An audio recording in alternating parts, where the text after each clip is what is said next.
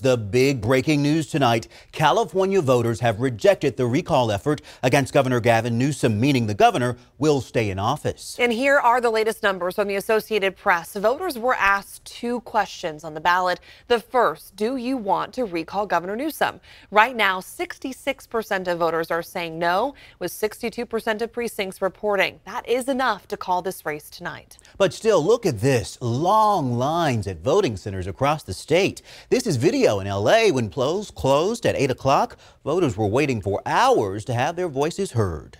And take a look. The line to vote at Citrus Heights City Hall wrapped around the building. This time lapse video was taken around an hour before clo polls closed. Officials say as long as you were in line by 8 o'clock, you were allowed to vote. Now, we have live team coverage tonight as more results are coming in. ABC 10's Andy Judson is live at the Sac County Registrar of Voters, where ballots are still being counted. And ABC 10's Van Tew is in Placer County, where recall candidate Kevin Kiley gathered with supporters tonight. ABC 10's Brandon Rittiman has a look at what is different in this recall. But we start with ABC 10 political reporter Morgan Rynor live outside the state capitol after the governor thanked voters tonight.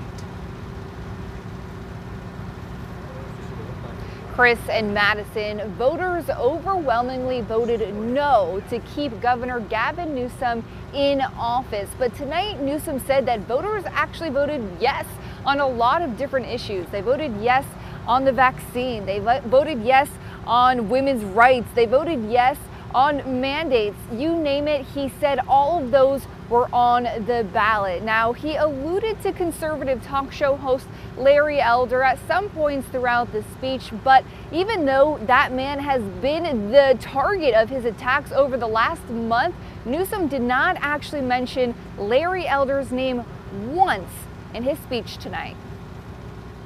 The recall is over, and Governor Gavin Newsom said it's time Good to evening. get back to humanity. Uh, I think we owe our kids a deeper sense of respect and all of us as adult responsibility to, to, to disregard this false separateness. And to anyone casting doubt on the legitimacy of the election, the former president put out saying this election was rigged.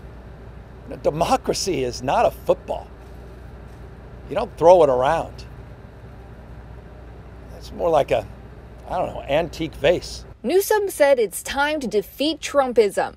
The big lie, January 6th insurrection, all the voting suppression efforts that are happening all across this country. Newsom has called conservative talk show host Larry Elder the closest thing he's seen to Trump.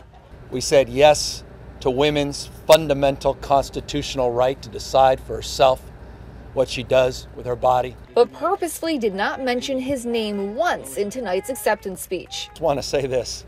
Tonight I'm humbled, grateful, but resolved. Newsom ready to move on, thanking the overwhelming support he received.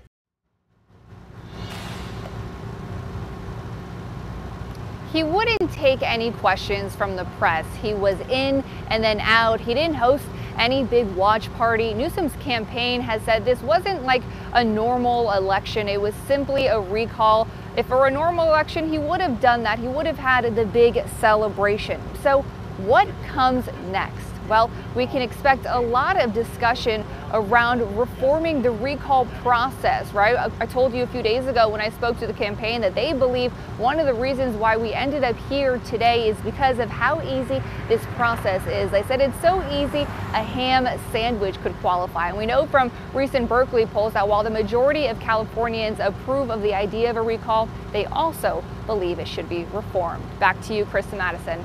And our lead reporter, Morgan Rynor, outside the Democratic headquarters tonight. Morgan, thank you. Conservative talk show host Larry Elder was the leading Republican in the race. He spoke in Southern California tonight, telling his supporters the fight continues.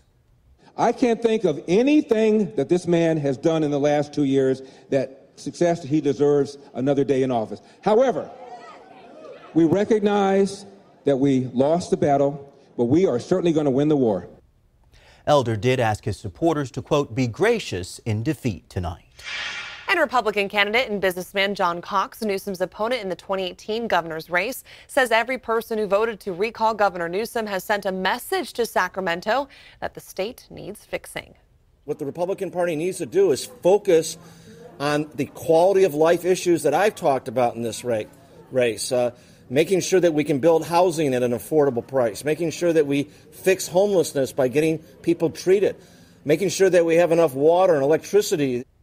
In a Facebook post tonight, Cox said this election has put career politicians and insiders on notice.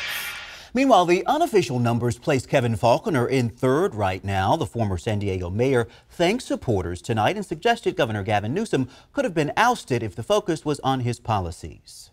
This recall showed that if you keep the focus on Gavin Newsom, he can be beat. But what we clearly saw in this election, that the focus of this election turned into national politics and personalities. Kevin Faulconer says he plans to continue to fight for California. Now, there were 46 recall candidates, and a strong critic of Governor Newsom, Assemblymember Kevin Kiley, was one of them. ABC 10's Van Tew has been outside his campaign event speaking to voters and the candidate himself. Van is live in Auburn tonight. Yeah, I'm outside of the Placer County Elections Office, and Placer County has been traditionally a Republican stronghold in deep blue California. Now, election turnout in Placer County was roughly 38% as of an hour ago, according to the Secretary of State, and that number will be growing as more ball ballots are counted. Now, I did catch up earlier this evening uh, with uh, with candidate Kevin Kiley outside of a watch party, and he is, of course, the Assembly member of District 6. And when those projections from ABC News and other outlets began rolling in less than an hour after those polls closed at 8 o'clock, there really was not that sense of defeat among the recall supporters I spoke to. Now, I heard echoes of uh, unfounded claims that the election is rigged, but I also heard things like, hey, my vote hasn't been counted yet, so it is way too early to make this call. Now, I also spoke to Kiley, a fierce critic of the governor and an arduous supporter supporter of the recall who even received personal backing from Orrin Heatlie, the person who really launched this entire effort. Now, I asked Kiley, Kiley as well if he would accept the results, and he didn't give a yes or no answer, but reiterated that these projections are not official, and by law, the count is still on. It's very standard in any election, any part of the country, uh, for all sides in an election to, you know, retain all options on the table uh, until the certification of the vote. Now, Kiley telling me no matter what the official certification ends up being by that October 22nd deadline, that this recall effort was, quote, the greatest citizens movement in California history to put the state back on track, end quote. And for him and his supporters, he says this is just the beginning and not the end. Our Van Tew reporting live for us tonight in Placer County. And the Sacramento County Registrar of Voters Office very busy tonight. This is a live look inside as officials continue to count the vote. ABC 10's Andy Judson is joining us with a closer look at just how busy they are. Andy. Yeah, Madison, election workers are still here and they're still hard at work. Take a look behind me. This is where the ballots from secure drop boxes across Sacramento County are still coming in. From here, they start the lengthy process of being tabulated, which in other terms is how your vote is counted and voice is heard, something that is important to voters we spoke with today. I wanted to exercise my right to vote because, I mean, it's, it's, it's important, and that's the only way I'm going to be heard is to vote. There's only been two recall elections in California's history, and Carol Lee has voted in both. I voted in the other one as well. As well as the general election held less than a year ago. I mean, we just did it, but so what? If you got a, a statement to make, come and vote. I don't care if they have it next week. I'll be right back again. The quick turnaround from the presidential election was a challenge for election officials. The 70 day turnaround was a quick turnaround. You know, normally we would already be in preparation mode for the June primary. Um, which we're still doing concurrently with this election. But a similar sentiment remained from the last election one of mistrust. We thought that, that November 2020 might be the pinnacle of the questioning of the election process, but really it's only gotten worse since then. We feel confident in our process.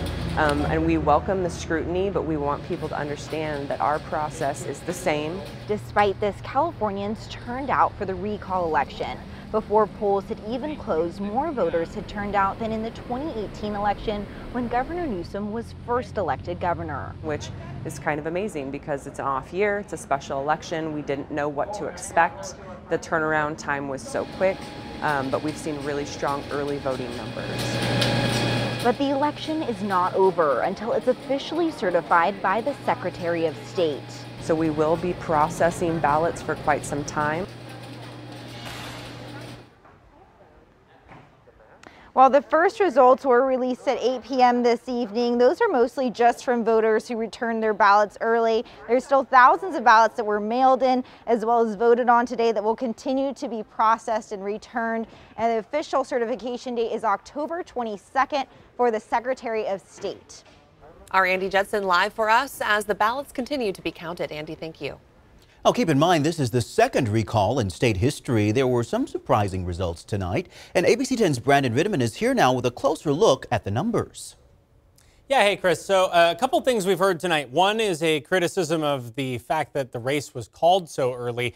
Uh, just taking a look at the result that we have here with almost a two to one no vote, a difference of, you know, north of two and a half million votes there, and probably, frankly, not a whole lot more than that outstanding it's totally responsible to make this call tonight, uh, having watched elections for a really long time. I just don't see any way that the, the pro recall side can overcome this. You've also heard uh, in, in this newscast uh, mention of, oh, hey, you know, this, this recall was turned into sort of national politics. All politics are national. It's a Democrat versus Republican thing rather than just a referendum on the governor, which is, you know, how some would argue the recall was intended.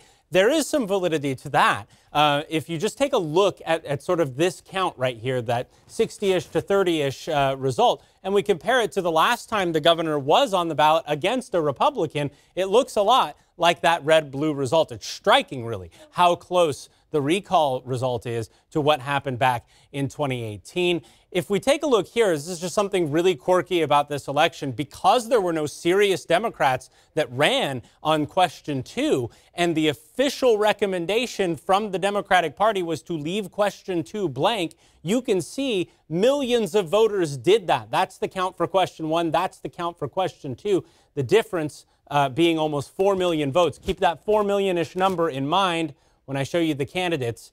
There's Larry Elder.